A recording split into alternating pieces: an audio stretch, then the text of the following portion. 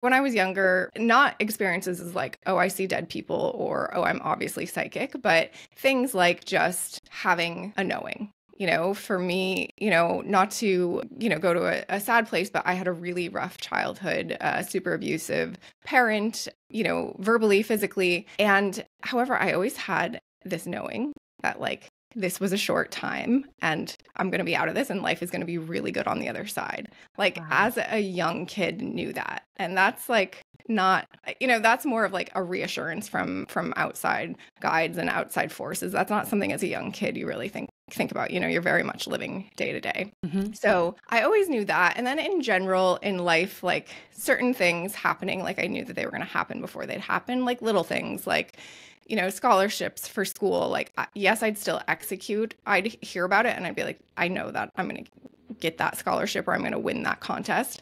And I'd still have to do the execution, but like I would win it.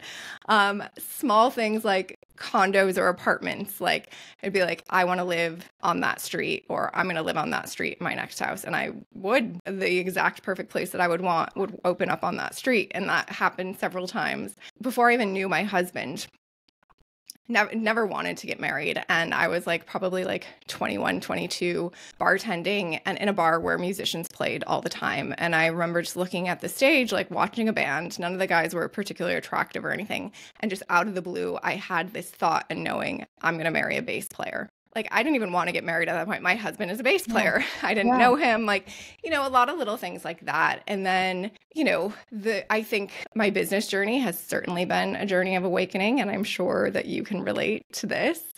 And when you're running a business, there's almost like no way not to come face to face with the spiritual stuff, the miraculous side of things, or the just like praying and begging that there are miracles out there for you, right? Yeah. Um, and so a lot of miracles have happened in my business, a lot of things where there's like no explanation other than the energy that I have put forth or the guidance that I've asked for.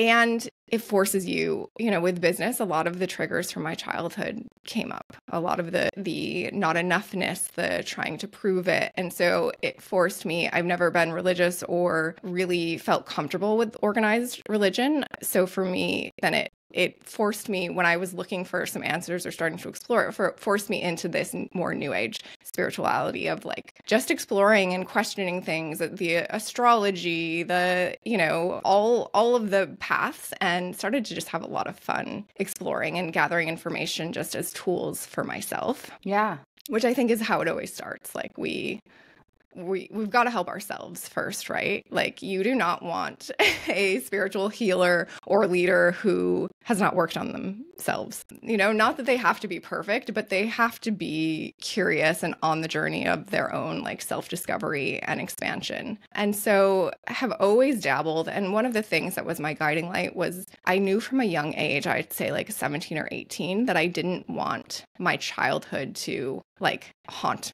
the rest of my life. I didn't want it to impact the rest of my life. So I knew I had to figure out a way to to let all of that go and yeah. and not let other people's actions impact my whole life and I think that's that was kind of the what led me into all of it and then through it all just a journey of awakening and you know once you know stuff you can't go back to not knowing I had my own deep, deep dark night of the soul about two years ago. And that was kind of the final catalyst that made me start to wake up, made me, you know, was in a place, and I'm sure a lot of people can relate to this too, was in a place of like, who am I and what what am I doing? like, what is the purpose of all of this? What actually matters to me versus like what I've thought or been pretending matters to me? What is my purpose? What is meant to be my journey, my mission? Uh, and just started to like relentlessly dig into that. Like that was my mission at that time was just to like understand it all, find myself, understand my true self, rip off all the layers of,